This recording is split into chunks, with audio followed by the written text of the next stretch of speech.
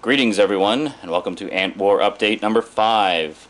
Some rather exciting news today. It's uh, Sunday, March 23rd, 2008, and I think I just found the nest.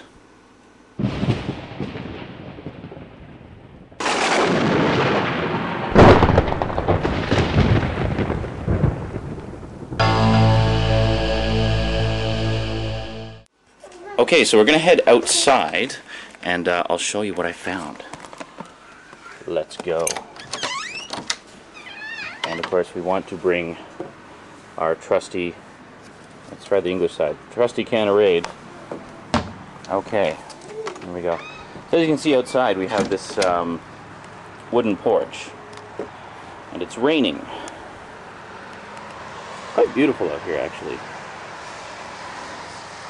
You see the, uh, there's a road right next to our little area here.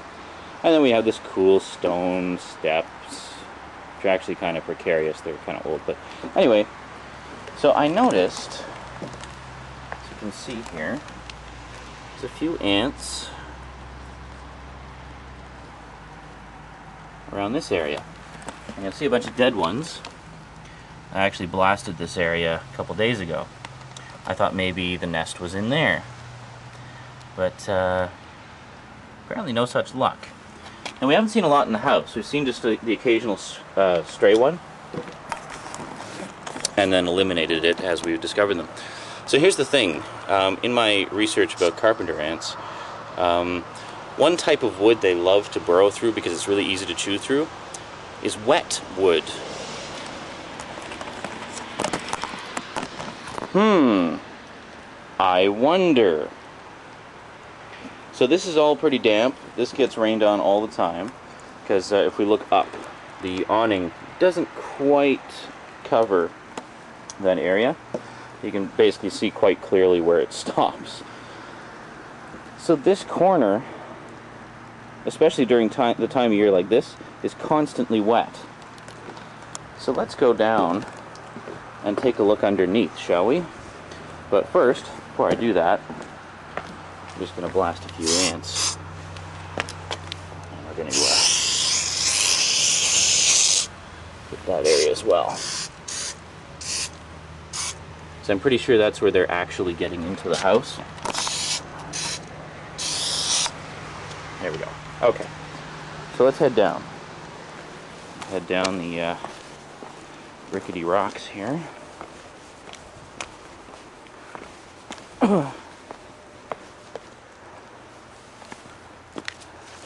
this is where our mailbox is. So let's uh, let's take a look up here. As you can see underneath, this is the porch here. Let's go over here a bit. So this is the porch here. And if you look underneath, there's a lot of old wood and stuff. Prime ground for uh, those kinds of things. Then, if we look up here, um, just gonna step up here a bit. Right underneath the porch, look at that. What do you think? Holes all over it.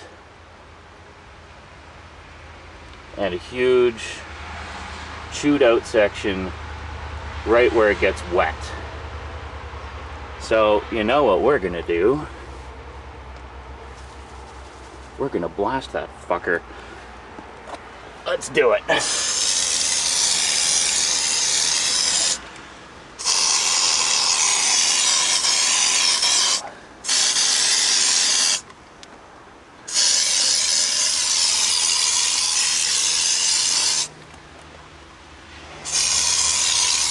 if they're burrowed really deep, I don't know how well this is going to get them, but...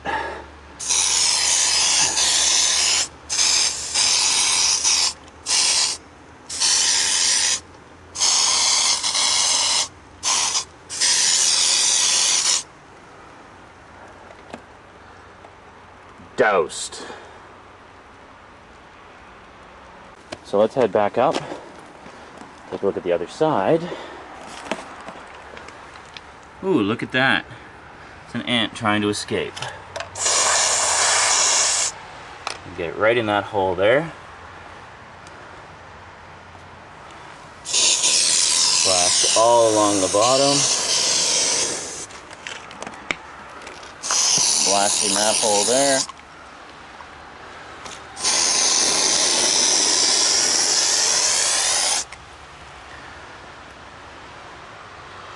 There we go. So there you go. I'm pretty sure that was the nest because that certainly seems to uh, meet the description. Which is actually kind of a nice thing that it's out in the open like that rather than uh, burrowed into the walls somewhere. But I kept seeing ants around that little area so I suspected that you know, at first I think, oh, okay, they're coming from outside somewhere, probably an old dead tree. No. I'm pretty damn sure that was it because there is no reason for them to need to go in there unless they're living there because they can always get around or, or whatever. But uh, yeah, so I think that was the nest. Obviously I can't go hacking away at it because it's supporting our porch, but uh, I think we'll let the landlord know about that before we leave and then uh, we'll be good to go. Yeah, I'm a little pooped. I'm really out of shape. Sitting on the computer too much. Anyway, just a quick update this time. Really not much more to say than that. So, uh, catch you next time. Later, folks.